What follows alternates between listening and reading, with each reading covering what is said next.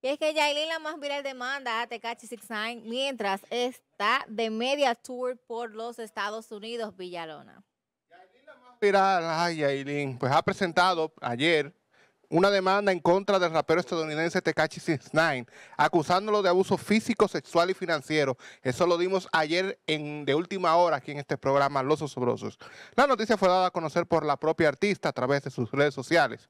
Todo esto ocurre mientras la propia Yailin se encontraba en una entrevista en el programa En Casa con Telemundo y, luego hoy en la emisora La Mega, en una especie de media tour que anda haciendo por allá. Entonces, Yailin, eh, una supuesta demanda de Tecachi. Yo no creo nada de esto, señores, porque es que ustedes vieron la vez de show mediático que hablamos aquí, que duramos una semana entera hablando de eso. Entonces, que ahora después venga ella, después del tema que él tiró, después de un par de días, venía a sacar fotos de golpe y de cosas, y la IA está muy avanzada. Ya uno no puede creer en nada. Entonces, eh, realmente siento que ahora ya no puede venir a que querer poner demanda porque ya tuvo su oportunidad de hablar y no quiso hablar. Y en pleito de marido y mujer, nadie se estaba metiendo por lo mismo los que guisó, pues está se metiendo en lo que no le importa.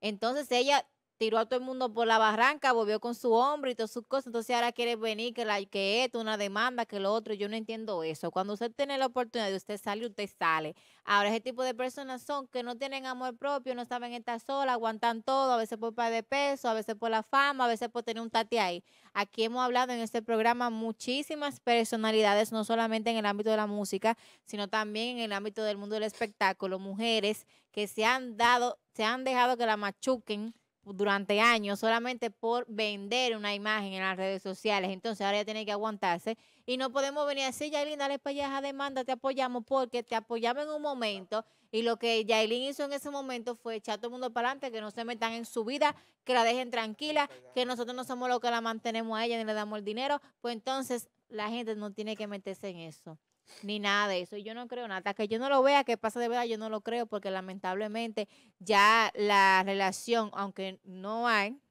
entre Tecachi y Yailin, eh, continúa siendo bastante eh, tóxica y ella a todo le, iba sacando el provecho, a todo le iba buscando la vuelta y yo eso no lo creo, no lo entiendo y no nada y no me interesa. Si quiere volver, que vuelva, si no también, si quieren dar que se den, pero ya los dos me tienen muy cansada. Yo no sé para qué traemos esto aquí este programa realmente.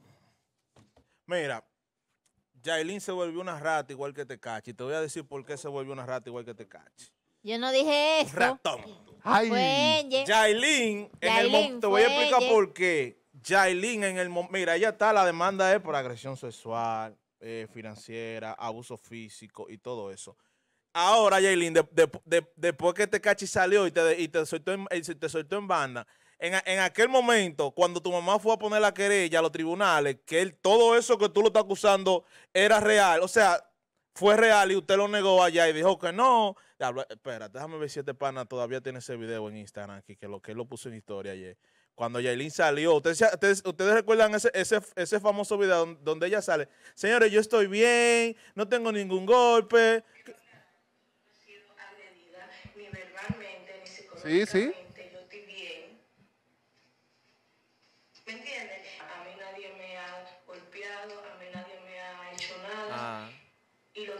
Saco de música, uno seguir trabajando desde que, saque este, que lo saque de este problema, porque esto es, esto es una porquería, esto no es nada. Entonces ahora, Yailin, ahora sí te golpearon, ahora te agredieron físicamente y ahora te roban dinero, ¿verdad?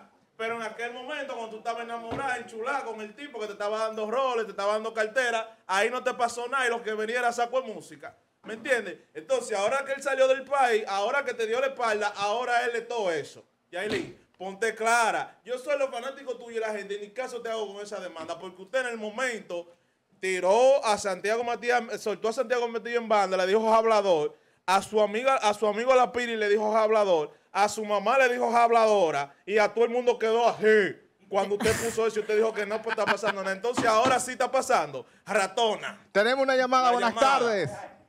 Buenas tardes. Buenos ¿Por qué ustedes no apoyan las, figuras de aquí, de la provincia? Héctor Jason. Hablen de Héctor Jason. ya hablamos de la figura, hermano. Estamos en Jailin y te cacha beso para ti, negro bello, negro hermoso. Roberto Neri. Personas que puedan verlo y eso. Yera, dime. ¿Eh? Óyeme. De Jason, que, tiene, que ha desarrollado el cocomordamo como ningún de los... Ey, ey, no, no, no, no. Ven acá, Yera, estate, estate tranquilo, escucha. Escucha, escucha, Yera. ¿Qué hay de cierto que Santiago Paulino contrajo nupcias hace un tiempo, nuestro querido Magui?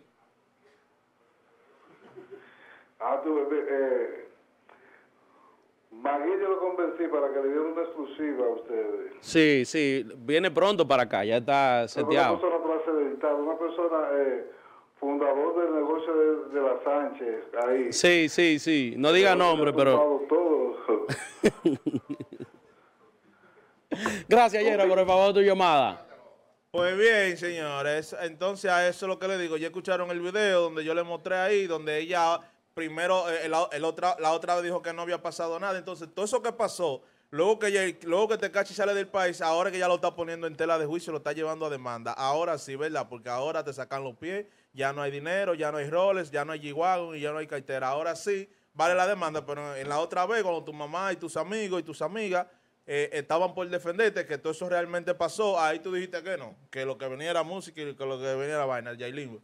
Ponte clara, que quedaste, quedaste fue ahora, co- quedaste ahí, ¿me entiendes? No, quedó porque que ya se le ve la mala, se le ve la mala fe, se le está viendo la mala fe, entonces eso es lo que pasa.